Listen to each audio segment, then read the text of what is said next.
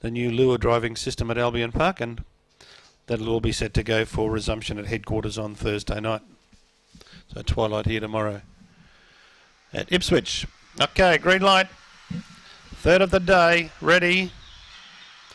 Racing out in the middle, Somerset Supreme began brilliantly and went straight out to the early lead. Cool Credit a length away, coming to second, followed by Far More Off Tap and then Bashful Babe.